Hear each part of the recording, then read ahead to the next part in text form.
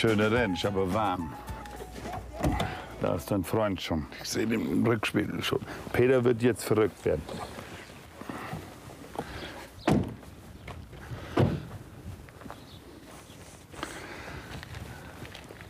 Siehst du wohl, da gucken schon die Richtigen durchs Tor. Wo müssen wir durch? Hier durch oder da durch? Hallo, bin ich Rosita. Hallo. Erstmal herzlich willkommen auf. Trampolino. Ich freue mich total. Und Anton, du bist Mein Lehrling. der Lehrling. Schön. Sollen wir erst mal, bevor wir loslegen, oder bevor, sagst du oder sie? Tammy du oder Tammy Alles, sie? alles du. Alles du. Alles du ist das Einfachste, nicht? Ja. So Esel habt ihr auf der Insel. Ja, Esel haben wir auch. Und das, da wäre schön, wenn du da mal drauf gucken könntest. Das ist unser Keks, das ist die Linda, die ist erst drei. Und die hat, für mich hat die ein tierisches Rückenproblem. Ähm, Ich habe es auch erst seit Januar. Und ich weiß nicht, was der Vorbesitzer gemacht hat. Sobald du mit der Hand hinten auf den Rücken kommst, drückt die den weg. Und ähm, ja, das wäre so auch ein Kandidat. Anton, du liebst doch diese Tiere. Nee? Da Ja, kannst du gleich zeigen, ob du schon was gelernt hast. Nach einer kurzen Führung über das tolle Anwesen geht sofort an die Arbeit. So niedlich die Esel auch aussehen, man sollte sie nie unterschätzen. so, was ist jetzt der Unterschied zu, mit dem Kugelgelenk? Wie funktioniert das jetzt? Wo sitzt das Kugelgelenk? Wo sind die so beweglich? Das frage ich dich ja. Im Knie. Das Knie ist so eingehängt, dass er dort so weit mit bewegen kann. Er kann von hinten mit dem Huf sich hinterm Ohr kratzen. Er kann waagerecht die Beine in der Runde schlagen. Darum sind heute auch ja in Deutschland wieder Esel aktuell in Schafsherden integriert, weil der Esel mit seiner Gelenkigkeit jeden Wolf sofort erschlägt, wenn er ihn zu packen kriegt. Der Wolf unterschätzt den Esel. Der geht da ran und der Esel schlägt zu. Und der, wenn er rechnet, von vorne geht er ran und will ihn in den Hals beißen, dann kann er einfach in der Richtung mit der Hinterhand so ein Tier mit einem Schlag töten. Brutal, schnell im Hinterbein und du kannst da nicht vorweg, weil wenn zwei Meter so rundhauen, dann haben sie dich. Kann das angehen, dass du ein bisschen Angst kriegst vor dem Esel? Ja, das kann schon angehen. Angst wollen wir nicht haben. Probieren. So ein feiner Kumpel hier. Nee? Speckhals. Feine Lütte Esel. Anton versucht sich nicht aus der Ruhe bringen zu lassen. Klar ist aber, Tamme meint es ernst, der Lehrling soll ran. So, jetzt guckst du. Links hinten läuft er nicht gut. Wo kommt das her?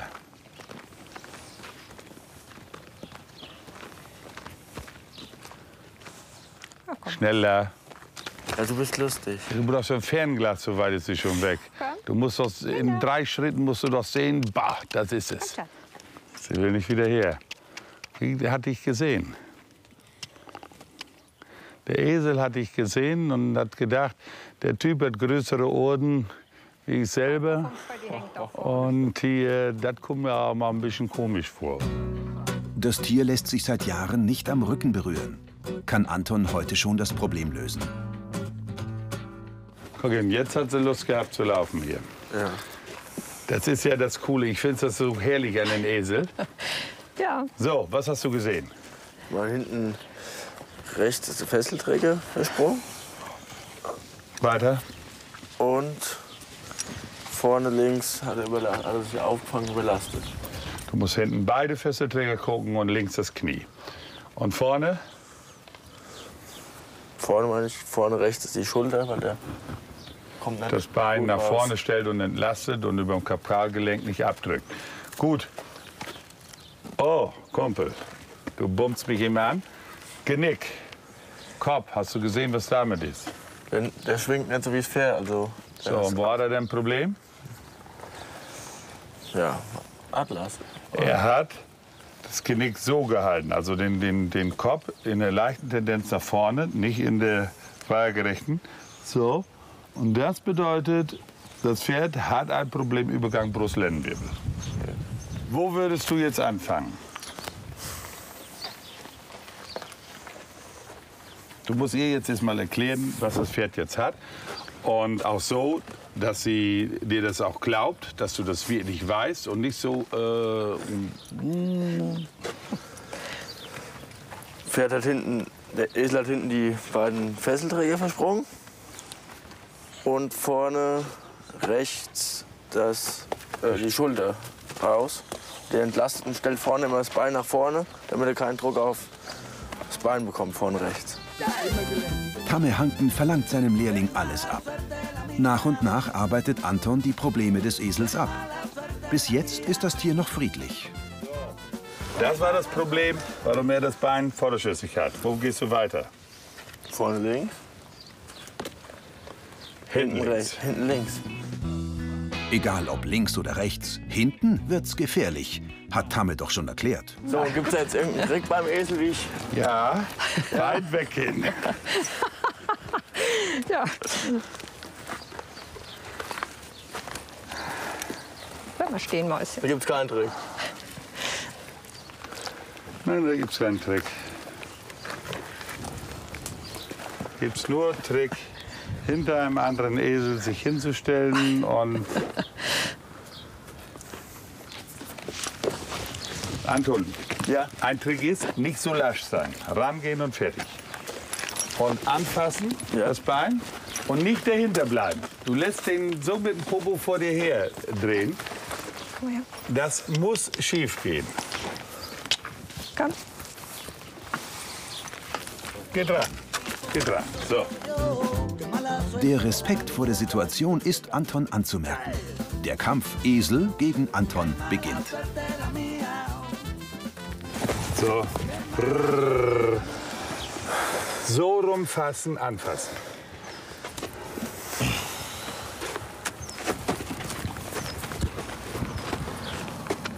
So, und jetzt rausziehen. Zack. Gut. Andere Seite. Ich weiß gar nicht, wo die schwere Atmung herkommt von dem. Es ist Angst. Haben wir da irgendwie einen Stift? Der guckt. Noch ist er drin.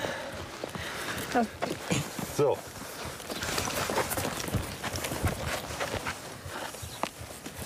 Hast du gehört? Ja. Gut, weg.